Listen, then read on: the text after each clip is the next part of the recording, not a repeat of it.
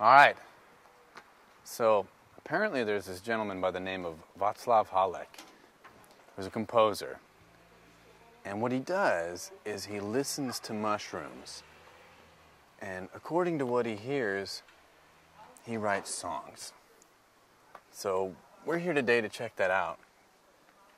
Um, we're on our way to his house right now, and we're going to go meet him. Let's see what this is all about.